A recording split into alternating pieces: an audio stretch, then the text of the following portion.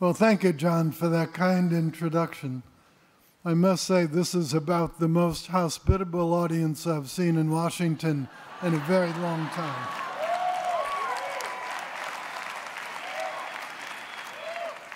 I congratulate Goldman Sachs for developing so many thousands of small and medium sized enterprises and for hosting this 10,000 Small Business Summit.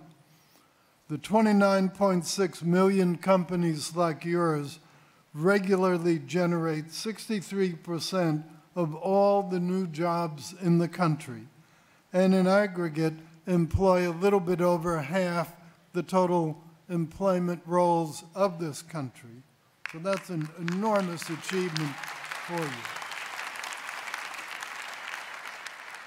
Some of you will also become entrepreneuring giants like Elon Musk, Jeff Bezos, Bill Gates, and others.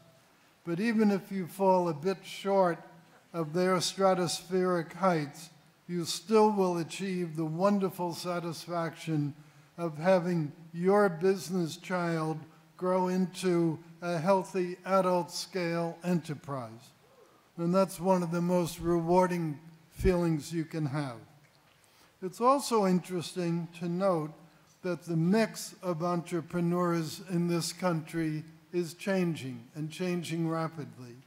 In 1995, only 27% of the new businesses started were by minority individuals. Now it's up to 40%, and I think that's a very, very encouraging trend.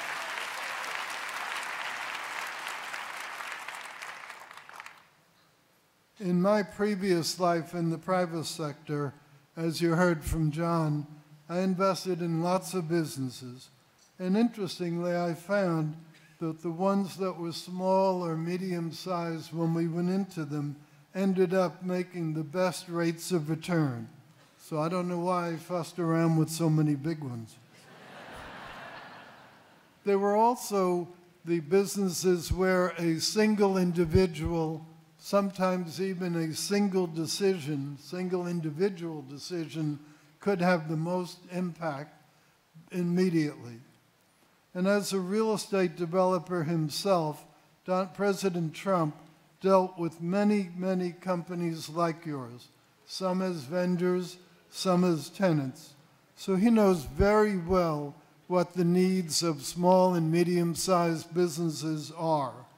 He knew that the regulatory requirements imposed by prior administrations were particularly troublesome and weighty on medium-sized and small manufacturing businesses.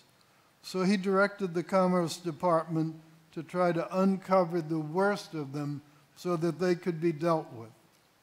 Since then, at least 1,500 rules and regulations have either been eliminated or postponed in terms of their effectiveness. Uh,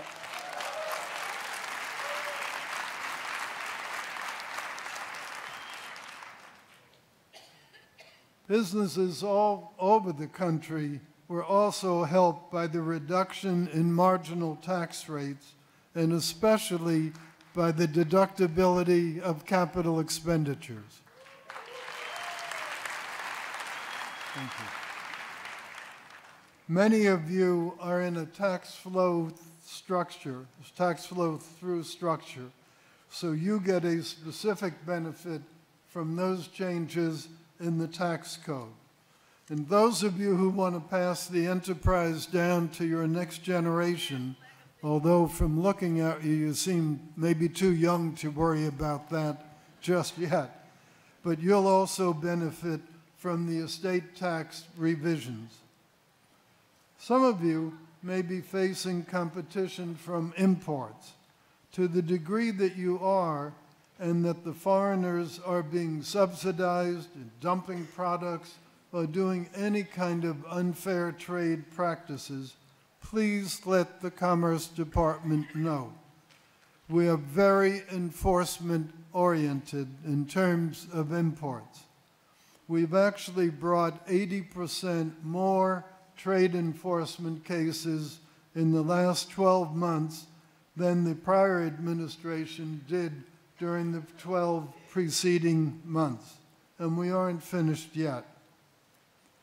If you happen to be in a niche industry for which the costs of initiating a trade case are prohibitive, still let me know.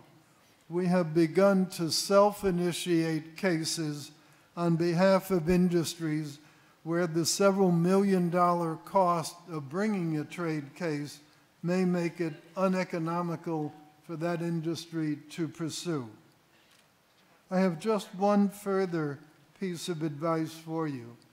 Whoever said, build a better mousetrap and the customers will flock to you, was an idiot. You do need a better mousetrap, but you also have to market the daylights out of it. And I think that the biggest marketing error that businesses of your scale make is not to push exports. Believe it or not, less than 3% of all American businesses ever export anything. To try to correct this problem, the Commerce Department has established foreign commercial service teams in 73 major cities throughout the U.S. We're also present in 108 international cities and 60 embassies abroad. You'll be happy to hear they do not charge for their services, but they can guide you to make overseas business connections, possibly overseas investment in your business, and help you deal with the complexities of initiating international activities. Especially businesses like yours can develop exports through e-commerce. I, I, was in Laos recently and I ran into a young American couple there that has started a business over internet selling high-end fabrics to the interior decorating communities in New York, Paris, and other major cities. They never left Laos to do it. So think what you could do by replicating their ideas and bringing in the social media, bringing in e-commerce. I think it's a very, very important thing to think about. One graduate of your program here today is Natalie Kaddas from Kaddas Enterprises in Salt Lake City. I guess she has a large family. Her plastics manufacturing business grew 400% because of the export help from Department of Commerce, and she now sits on our department's export council. So there's a real life story. Of not only stand up, I don't know quite where you are, but stand up, take a bow. Thank you.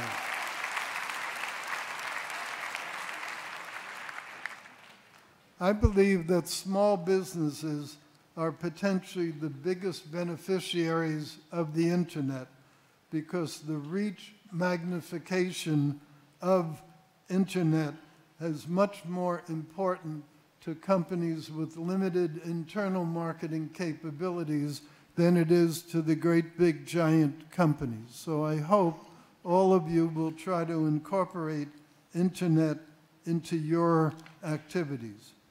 I'm sure you'll get more advice from other speakers here today, and I hope you enjoy the rest of the conference.